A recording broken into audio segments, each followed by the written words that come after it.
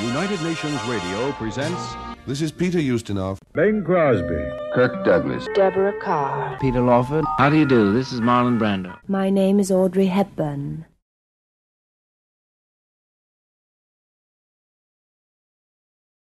It is a tradition that the organization marks United Nations Day with a concert including the final movement of Beethoven's Ninth Symphony.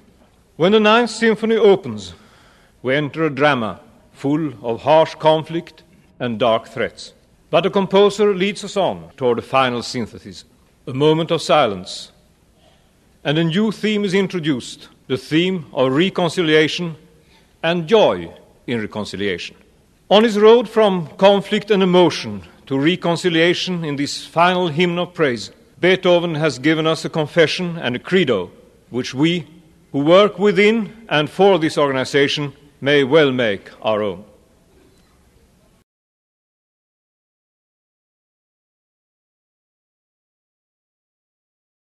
Nuevamente tiene que recurrir la nación cubana a la lucha para arribar a esa independencia y la logró.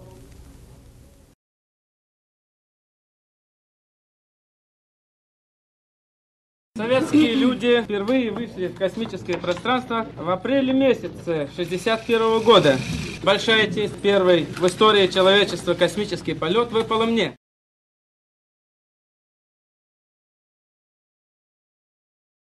It will forever remain an indelible blight on human history that the apartheid crime ever occurred. It will forever remain an accusation and a challenge to all men and women of conscience that it took as long as it has before all of us stood up to say, enough is enough.